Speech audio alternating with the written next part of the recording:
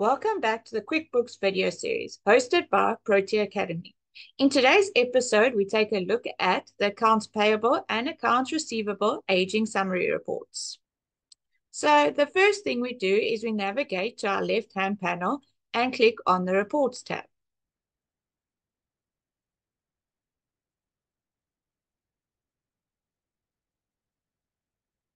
Let's first take a look at the accounts payable aging summary.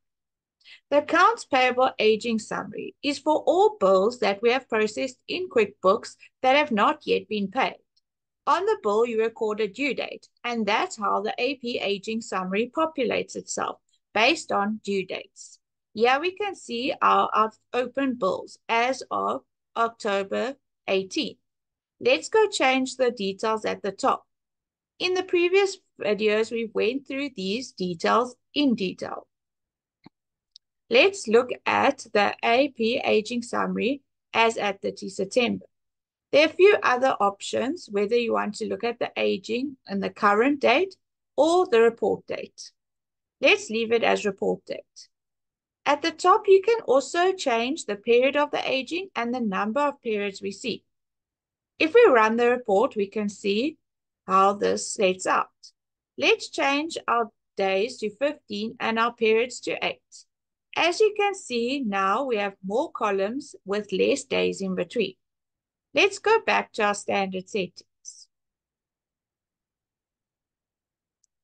Here you can see we've set the report back to how it looked. Our current column is for any bills that are not yet due. So bills we've recorded, but the due date has not come to pass. 1 to 30 would then be 1 to 30 days outstanding after the due date. It's important to remember that it's after the due date and not after the bill date. If you click on the total column, this will bring up the AP detail and will list any payments or bills that are sitting in the detail that make up the balance. As we can see, we only have the one bill here. It also shows you here how many days it's been outstanding. And at the top, you can select your parameters as required. Let's go back to our report. Over here, we have a negative $250. Let's go look what this stems from. Here we can see it was a journal entry. Let's click on the amount to get go into the journal entry and get more details.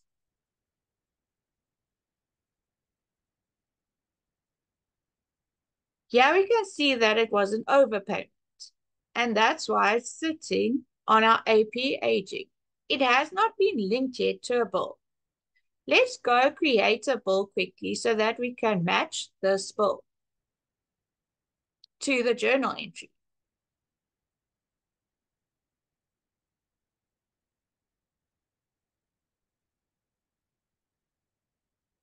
I'm just going to create a quick bill to the vendor mail for the exact same amount as our negative, the $250.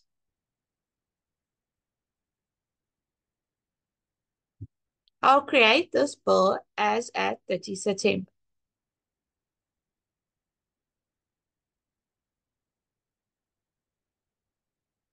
Let's refresh our report.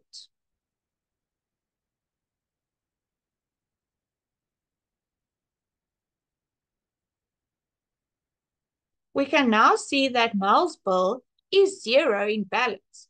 But because the items were created in different periods, they are still sitting on our AP aging summary. They need to be set off against each other. To do this, we click on the bill.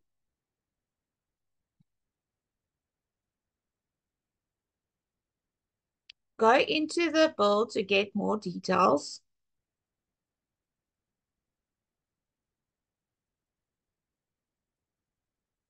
And over here, we'll click Mark as Paid.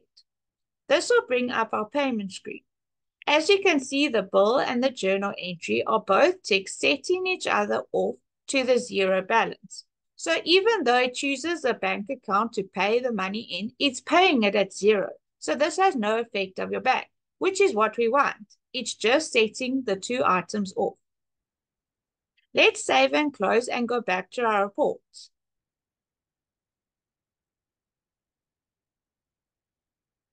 Let's refresh our report.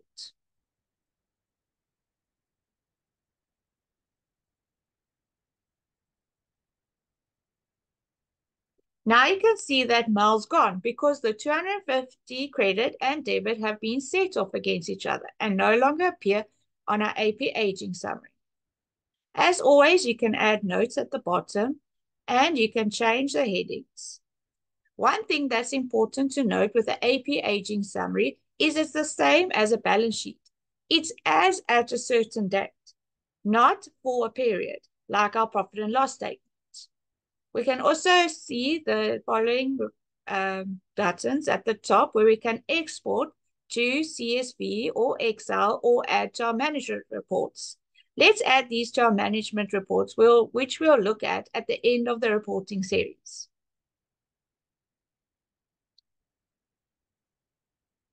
You can also change the settings by the gear icon. Let's switch over to the modern view. The modern view has all the same information and buttons as the classic view, just in different areas of the reports. Here we can change the settings on how we view it. And at the top, we can click back to classic view or we can export or add this to a group or schedule a report. Let's take a look at scheduling a report.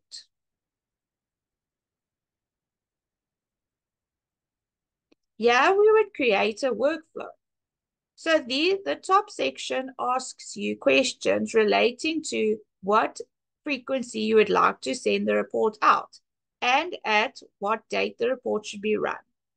Yeah, we can see we can change it to once a month and choose to send it on the first of every month or maybe every Friday of every month. And we can choose an end date for sending out the reports. Or we can click the never button to make sure we receive a report every week or every month, depending on the frequency you set. Over here, we would enter the details of how to send the report, adding in email addresses and who we want to CC, along with the body of the email. Once you save this, then based on your frequency, every month or every week, it would send a report out as you've set on that screen. You can also add or the report to an email and just send a once-off email to a client or a fellow team member. Here's the screen where you can edit all the details and it shows you what you're attaching to your email. Under the save option, there's a few new options as well. And you can add your report to a group. Here we can click on add group and let's create a group that will then add this report to. So we don't have to create a whole set of management reports like we have been doing so far. We could just create a small group and group our reports together. We can also share our reports with people who have the link and might not have access to our entire QuickBooks. We still have the same filter option. Yeah, we can filter by vendor, and then we still have the similar general options. The only change is the aging option. These were the options I showed you on the classic report, you can change the uh, number of days in the aging and the number of periods. Yeah, we can also change our, all our settings as we previously, previously shown.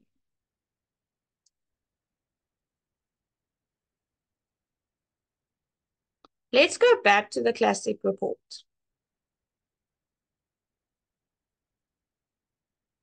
Here's our customized features as shown on the modern report. Let's go to take a look if there are any other AP aging reports we can run. The second report we can pull is the accounts payable detail report. This shows the report listed out per uh, due date criteria like current or 0 to 30 or 90 days plus, and it will list all the transactions that are open. So instead of just seeing the balances as a summary, we'll see the actual transactions under each aging criteria. We can still click on the bill to get the detail.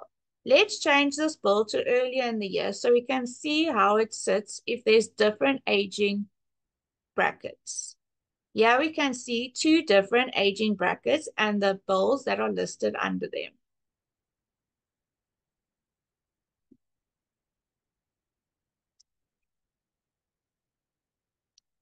Let's go take a look now at our accounts receivable aging summary. This is very similar to our accounts payable aging summary, and you'll see that they look almost identical. The only difference is this is who owes us money, and this is for our customers. As you can see, you can change all the criteria as you could in the accounts payable summary. Yeah, it shows us how many customers owe us money and the aging. Same as with the accounts payable, the aging is current, means that the due date has not been yet reached. And then 1 to 30 would mean days after the due date is reached. Let's add this to our management reports for our final video.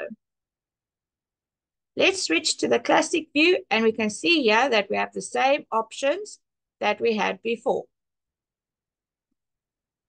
We can also add it to our group we created with the accounts payable aging summary.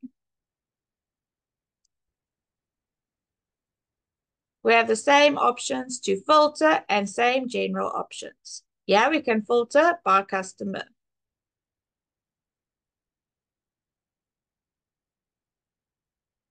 On the modern view, you can have the refresh report button, which helps that you don't have to refresh at the top. Let's go back to the classic view.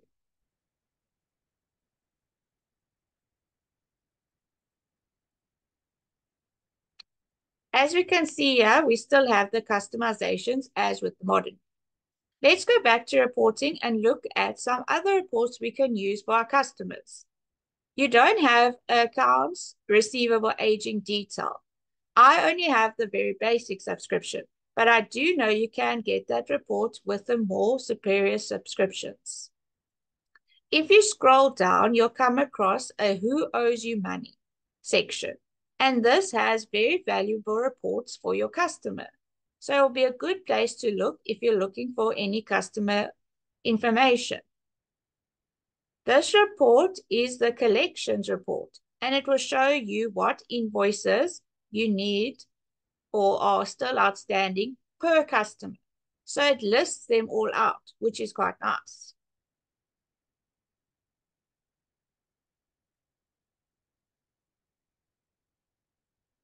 This is the customer balance summary. And as you can see, it lists a balance per customer.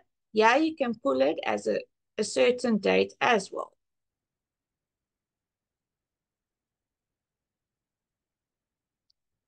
Let's quickly add one invoice to a different customer so you can see how it lists the customers out on this report.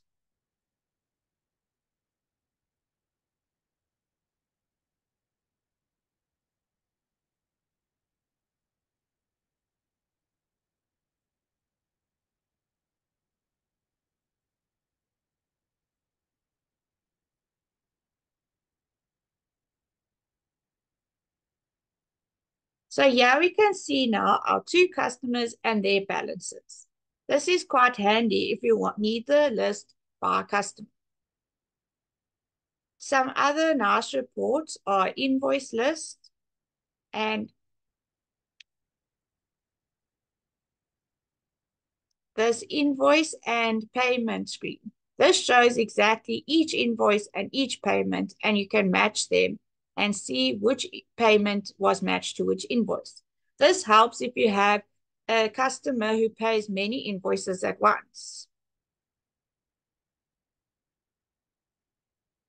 Here are some further customer reports that are good to look into if you need further details on your customer.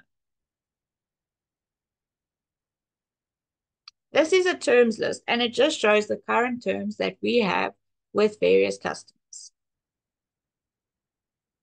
There's a similar section for your payables.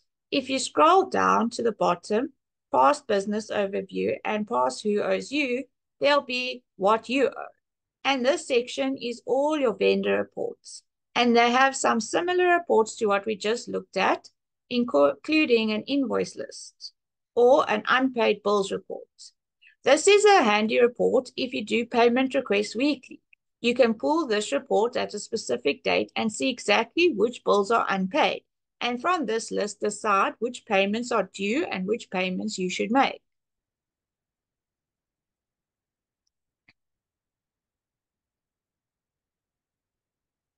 We also often use the transaction list by vendor report. This helps you to see every single transaction that has gone through the vendor accounts for a certain period. We use this to help us with our 1099 processing at year end. Here you can see you select a period that under review, and then it will show you each vendor and exactly each and every transaction that that vendor has completed within this certain period that you're pulling. Thank you for watching this episode of the QuickBooks video series hosted by Protea Academy. In our next episode, we'll take a look at cash flow reports.